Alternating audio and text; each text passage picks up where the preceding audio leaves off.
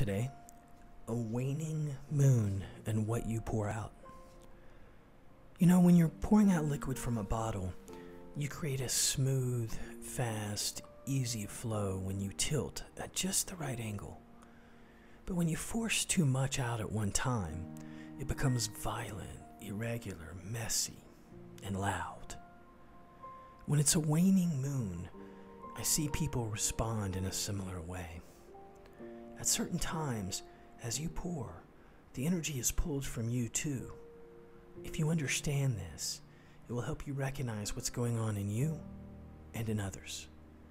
If you can take a few moments before you engage and respond, you'll reduce the tension and see more clearly. Go ahead and set the intention now. Much